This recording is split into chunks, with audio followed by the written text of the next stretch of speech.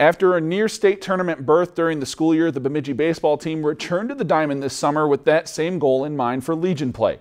Entering Sunday, the Centaurs found themselves two games from that goal as they took on Perham in the sub-state 14 tournament.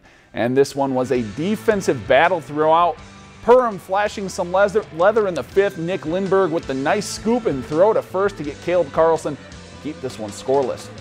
Couple innings later, Centaurs with their best chance, but Jared Young pops up on the infield. Perham's Chandler Roch makes the grab, still knotted at zero. But then, bottom of the 10th, Bemidji's Matt Fitzgerald plays hero, laying down the suicide squeeze.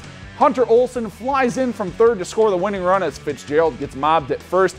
Bemidji wins by a final of 1 to nothing in 10 innings.